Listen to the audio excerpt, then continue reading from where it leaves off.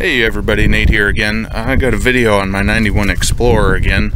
I was told that uh, I put well, I posted my RPM and uh, speed on the Explorer forum, and I was told that it's too high for highway driving. Um, it should be about uh, 2200 at 65 miles an hour, whereas mine sits around 2800 at about that uh, speed. So anyway, I thought it was working fine. Uh, I just haven't paid much attention to the shifting, and there's a couple different uh, shifting events that kind of confuse me. So I thought I'd do some diagnostics. Um, first off, we gotta pull that guy out. This is the uh, transmission shift solenoid wiring. It's right behind the washer. On my 91, it's four wires, but on my 94, it's got a fifth wire down here. But the coloring's the same. The red is powered on all the time with the key, and then the purple, I believe, is the torque converter clutch lockup, and the orange uh, is the three to four shift solenoid, and four to three uh, shift as well. This is purple with a yellow stripe and orange with a yellow stripe.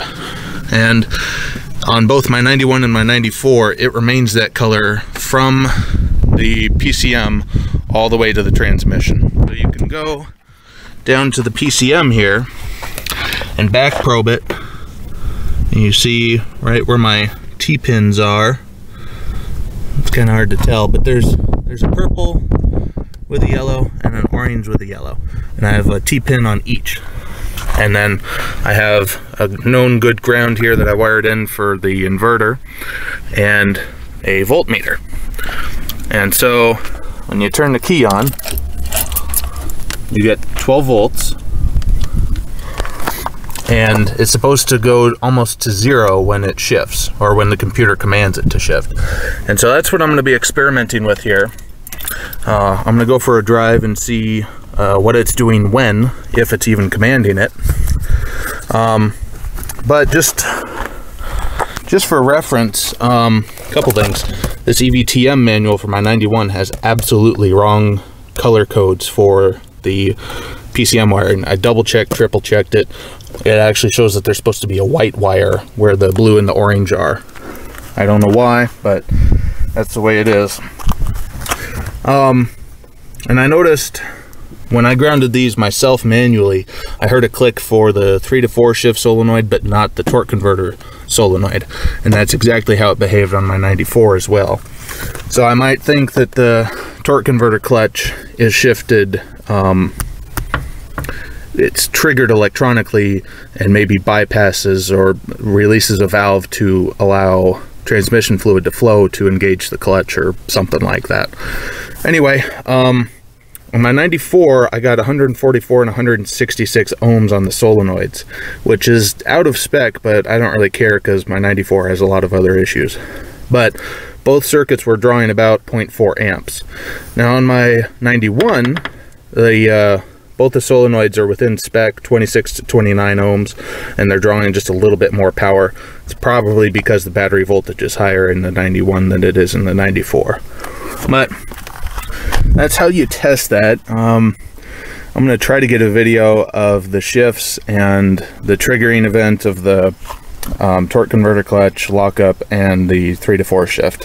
So I'll try to get that on camera Okay, you'll have to excuse the shitty video here. This is first gear in drive. Second. Voltage is still there on the 3 to 4 shift solenoid. Still second. Third, voltage is still there on the shift solenoid.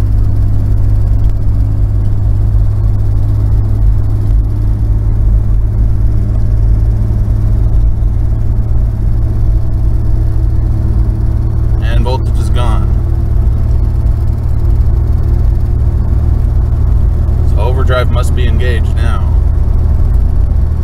I didn't feel a shift though.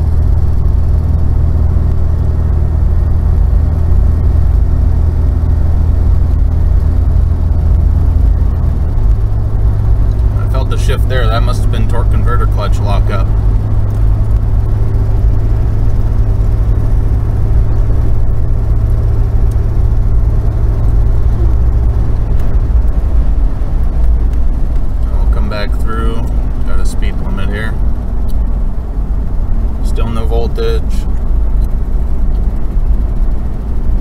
voltage.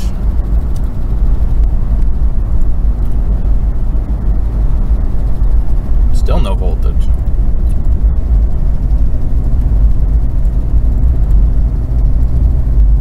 So overdrive must still be commanded right now.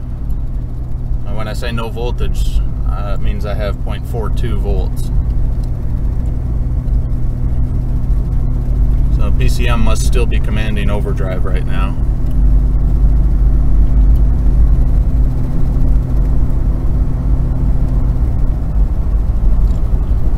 I can get it to kick down. There, voltage came back when I goosed it. So that made a shift and now voltage is gone again. So the computer must be commanding overdrive. More video in a second. Okay, we just made our first trip and we're checking the uh, 3 to 4 shift solenoid. Um, I'm gonna awkwardly change my T-pin over to the torque converter clutch solenoid. So we will see now and we have voltage. So we will see when this thing gets commanded. Let me get out on the main road here first. Okay, we're out on the main road now. This is all first gear. Second. No command yet, obviously. And we're still in drive, that's third.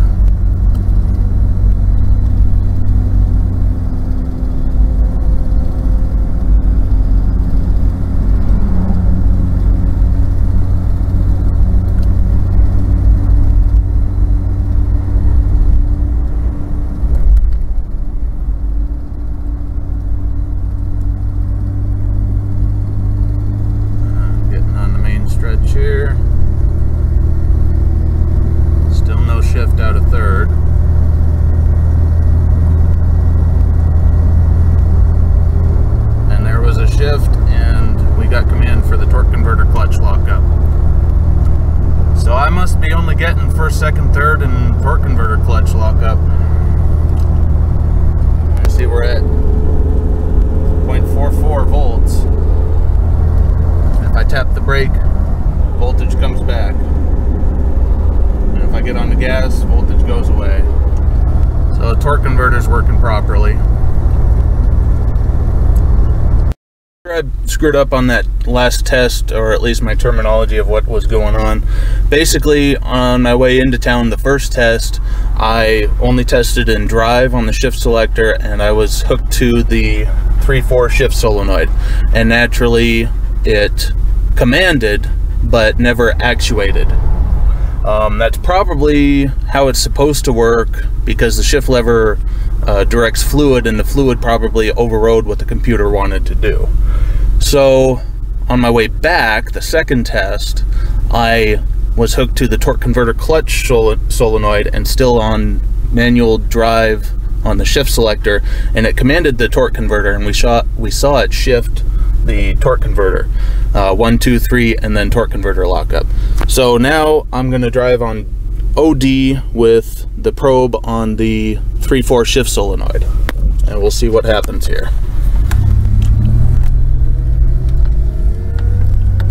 First second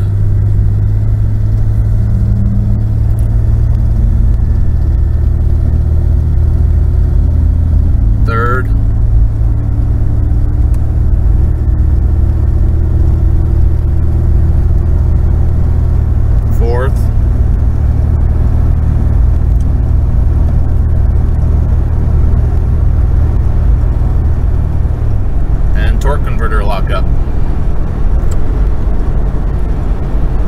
looks like it's working properly. And at 55, give or I'm about 2200, 2100 RPM. I would go faster, but my turn off is up here. Uh, let me take care of that and we'll get another test here.